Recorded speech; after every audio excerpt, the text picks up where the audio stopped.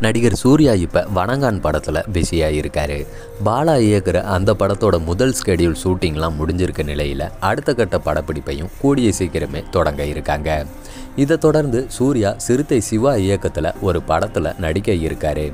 இருந்தாலும் இந்த படத்தை பற்றின அதிகாரப்பூர்வ அறிவிப்பு எதுவுமே இன்னும் வரலை.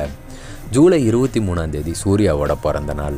அவரோட பிறந்த நாள் அதுவுமா தான் இந்த படத்தோட பிரம்மாண்டமான அறிவிப்பை வெளியிட இருக்காங்க.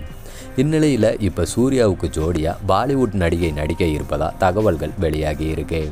ஹிந்தி மற்றும் பஞ்சாபி மொழிகளில் நடித்து பாப்புலராக இருக்க மஹிரா சர்மான்ற நடிகை தான் சூர்யாவுக்கு ஜோடியாக நடிக்கிறாங்களாம். சிறுத்தை சிவா இயக்குற இந்த படத்தில்.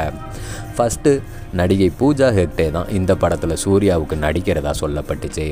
இப்போ இந்த ஹிந்தி நடிகையை ஒப்பந்தம் பண்ணி இருப்பதா தகவல்கள் வெளியாகி இருக்கு.